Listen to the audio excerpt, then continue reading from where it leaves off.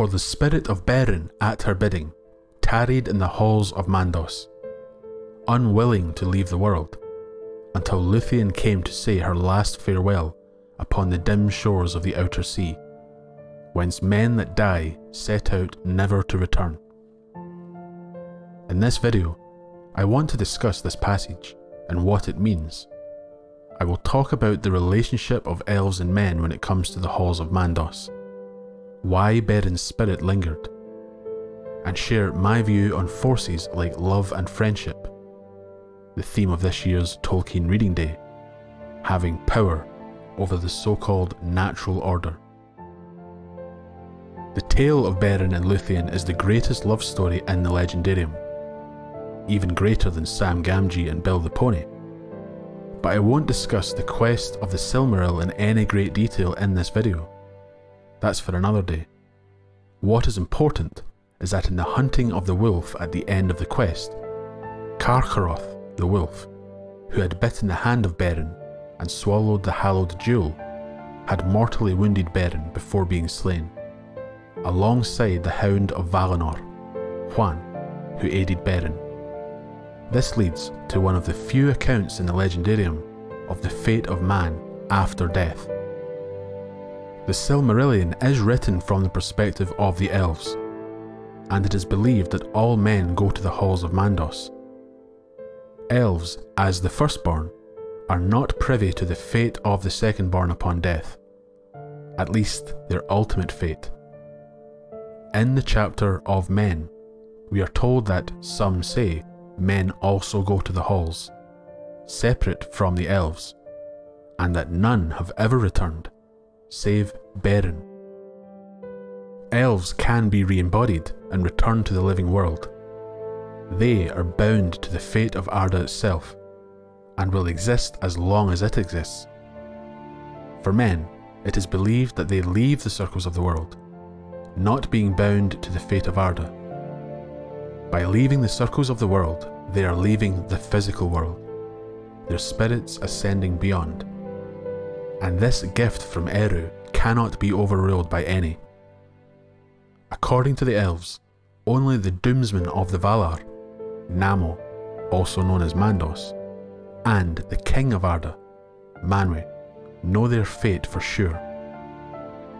Athrabith Finrod a Andrith sadly missing from the Silmarillion, is a discussion between an elven king, Finrod, and a mortal woman named Andreth. A fascinating conversation dealing with the differences between elves and men, and their fates. In a strange twist, it says that men go to Mandos without any choice in the matter, to wait until surrendered to Eru. The freedom given to men being temporarily removed. And as with all statements and decrees, there are exceptions because of the freedom of Eru. This is another difference with elves, who are summoned to Mandos but can refuse those summons, but are left without the freedom to leave the circles of the world. When speaking of exceptions, Earendil is mentioned. He reached Aman a place where no living man was allowed to go. Yet he had not made his choice of kindred at that time, being half elven. But the case of Beren is truly exceptional. A mortal man who died and returned to actual life. Still, it is quite mysterious, as we are explicitly told that no mortal man ever saw Beren following his return to life in Middle-earth.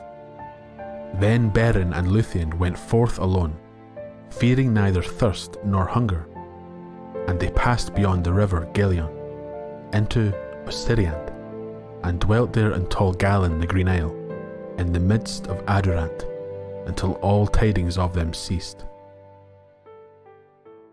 Beren's tale is exceptional in more ways than one, which is clearly why it is told to us.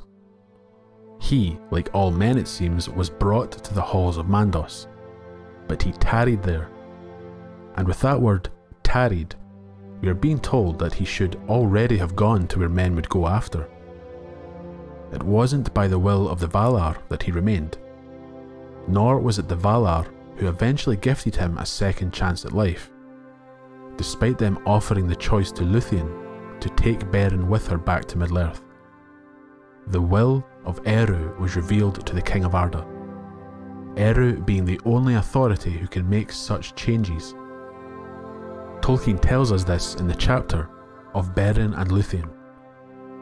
Mandos having no power to withhold the spirits of men that were dead after the time of waiting, and having no power to change the fates of the children of Iluvatar, went to Manwe, the one who governed the world under the hand of Eru, and he sought counsel in his inmost thought, having the will of Eru revealed to him. Now this same chapter says that at the bidding of Luthien, Beren remained and was unwilling to leave the world until she came to say her last goodbye. If men must go to Mandos following their death, and must wait for a time before being surrendered to Eru, then I suspect it must be different for each spirit, meaning it is not some set period of waiting. The will of the spirit, the deeds in life, the reaction to death, the cleansing of the spirit, all must play some part in the time spent there, eventually being surrendered to God when the time is right. Just as elves can remain in the halls until they are healed, or the time is right to make their next choice in Arda. I speculate men have some period of spiritual healing. This is where it seems to me that a power beyond decrees and rules changed the fate of Beren and Luthien. Beren was so set against leaving the world without seeing his love again, that her bidding that he not leave somehow halted the natural process. This could be a power beyond our mortal understanding. The freedom of men to shape their own destiny beyond the music of the Ainur. Perhaps coupled with true love. The ultimate happiness of Beren only being possible if he at least saw Luthien again or, ideally, dwelt with her eternally, despite the different paths of their respective kindreds. We see the power of love and friendship in the fate of many other figures, becoming exceptions to the rules. Frodo sailed over the sea at the end of The Lord of the Rings, granted the authority to do so, through at least the plea of Arwen to Gandalf. But Gandalf had great affection for Bilbo, another ringbearer like Frodo. And Tolkien tells us that Bilbo's journey west was about more than just bearing the One Ring. He was necessary for the sake of Frodo. It is difficult to imagine a hobbit, even one who had been through Frodo's experiences, being really happy, even in an earthly paradise, without a companion of his own kind. And Bilbo was the person that Frodo most loved. What about Sam? Yes, he is another of the ring bearers, briefly, also being granted the authority to undertake such a journey, as adumbrated by Frodo. But couldn't it be more than that? Wouldn't Sam need to see Frodo again after all these years? What if Bilbo had already passed and Frodo was alone for what was left of his life? The happiness of both Frodo and Sam may be dependent on Sam crossing the sea. Those powers greater than the set rules coming into play. Their love and friendship earning such an exception to the so-called rules. A final example could be Legolas the elf and Gimli the dwarf, with Tolkien going as far as to say that Gimli was a unique exception. A dwarf, but a friend of Legolas and servant of Galadriel from my own readings and understanding of the text. I can't see Gimli standing on the shore watching Legolas leave. He must go with him. They haven't left each other's side since becoming friends during the War of the Ring, all those years before. Why would they separate now? Gimli's love for Galadriel also being important to consider. To me, it makes sense that he would be given permission to sail west, to enjoy his remaining time in happiness with those he cares about the most. A reward for past deeds and the honour of being an elf friend. Otherwise, he passes into death in grief and misery. With Beren, others could not stop him from receiving the gift of Eru. But could he stop himself? Could he tarry a while longer through the strength of his love for Luthien, seeking that final moment of happiness that could not be achieved otherwise, not being ready to leave? Throughout their story, fate and chance play their part, and their love always bringing them back together, despite the interference of others. How could death now keep them apart? Luthien is then given a choice, being allowed to dwell in the Blessed Realm, forgetting all grief.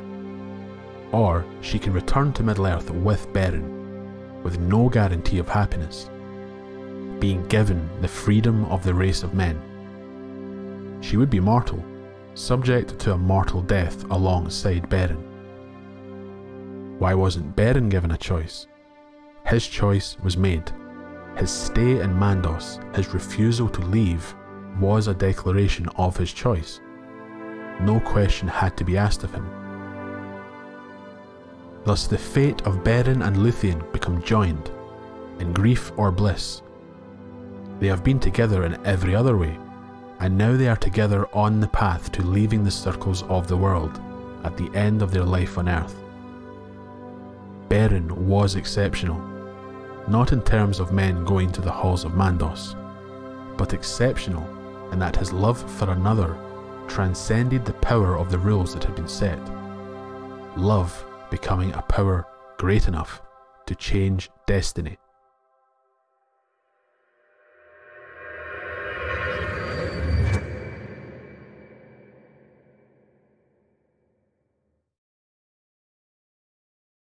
On March 25th, the One Ring was destroyed, and Sauron was defeated. This date is Tolkien Reading Day, organised by the Tolkien Society to encourage the promotion of Tolkien by reading your favourite passages. Merely reading a passage would probably result in this video being taken down by the Tolkien estate. So much for the noble goal of promoting Tolkien.